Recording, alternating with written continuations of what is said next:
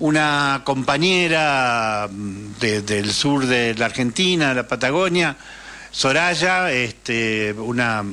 compañera que ha sido vocera de la lucha de, de los pueblos mapuche cuando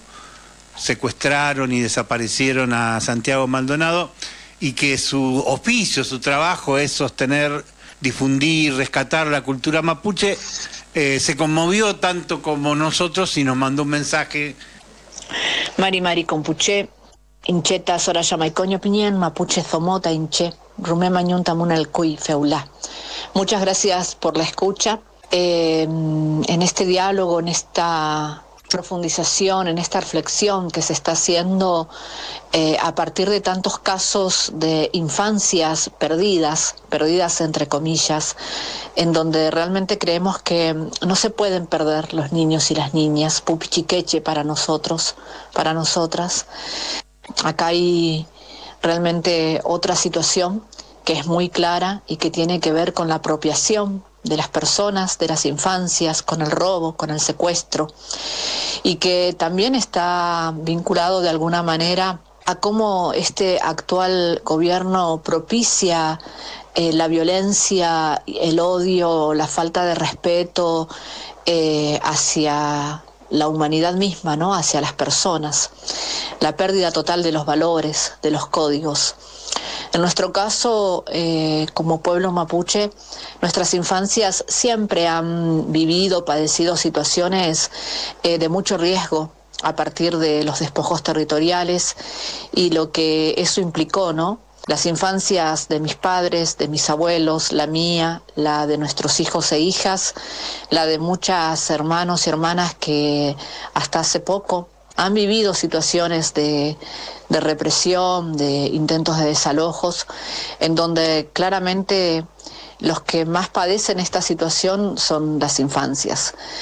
No podemos decir en este momento que hay infancias perdidas, pero sí que han padecido situaciones de extrema violencia y vulnerabilidad en todos sus derechos, en los derechos vinculados a la vida, al pueblo al que pertenecen, a la práctica espiritual, al idioma. Entonces, eh, no, no, podemos decir que estamos exentos de estas violencias, pero somos parte de una sociedad que nos interpela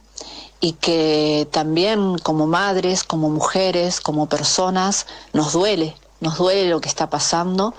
eh, con tantas infancias que hoy por hoy eh, se, se reclaman como perdidas más allá de lo que viven ya muchos territorios del norte con, las adolescencias y el chineo y, todas unas prácticas vinculadas a la violencia sexual que siempre ha existido, ahora se le suma esto, ¿no? Y, y, duele porque claramente para que esto suceda tienen que haber cómplices, tienen que haber personas vinculadas al poder, al poder político, al poder policial, al poder jurídico, que de alguna manera o habilitan esto o hacen la vista gorda. Entonces creo que es pertinente, urgente diría yo, que como sociedad eh, podamos generar algún tipo de movilización, de repudio que visibilice esta situación, no que pase de largo como un posteo de Facebook, sino que realmente ponga el foco en esto. Hay que cuidar a nuestros niños, a nuestras niñas, hay que cuidar, hay que darle el valor eh, como persona, como seres humanos, como partes de la sociedad. Em, entonces quizás, quizás ojalá Peumanguen salga de esta o de cualquier otra conversación en cualquier otro ámbito alguna propuesta válida que valga la pena y que proponga realmente, valga la redundancia, eh, alguna acción concreta que visibilice esto que nos está pasando como sociedad para que se corte, para que se termine. Eh, a los niños no hay que robarlos, no hay que secuestrarlos, no hay que apropiárselos, hay que brindarles eh, un país que los cuide, que les dé calma, que les permita jugar, que les brinde confianza, porque son el futuro y porque tienen que ser personas el día de mañana que tengan eh, mucha claridad en lo que quieren para su vida, en cómo lo quieren,